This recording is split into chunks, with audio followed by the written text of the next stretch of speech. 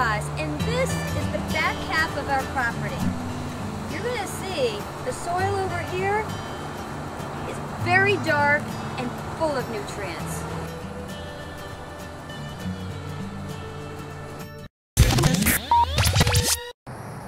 Okay, this is the front of the yard. We do all of our solar experiments here.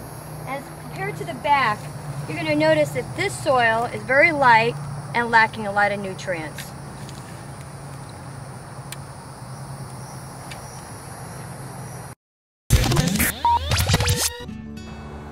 So why is this soil so much healthier? This soil is terra preta enriched.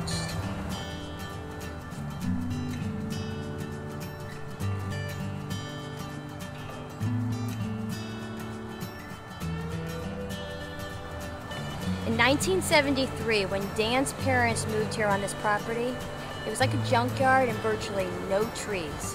It's come a long way since then.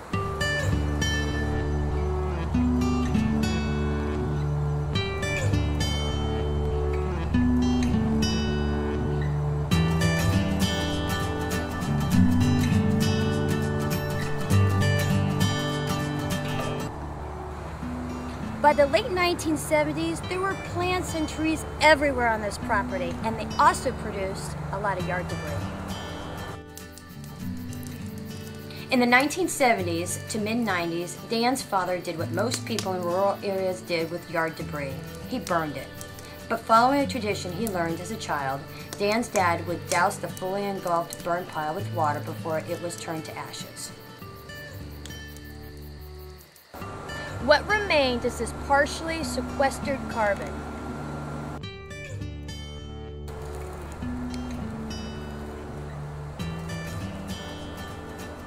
This stuff was collected, scattered in the yard, and then eventually mowed over.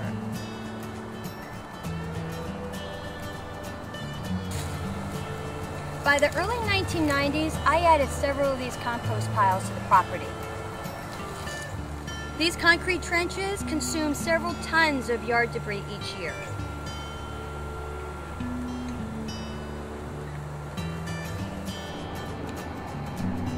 Our property is loaded with fruit trees, and that rich soil helps fertilize these ponderosa lemons.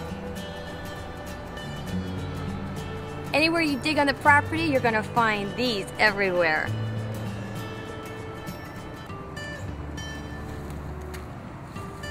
Here's another one.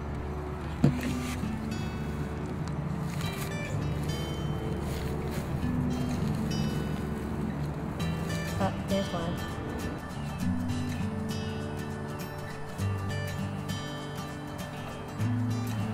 Whether you live in a residential area or a large farm, I'm going to be showing you some composting techniques in some future videos. I'm your host Denise Rojas. Thank you for watching and enjoy our videos.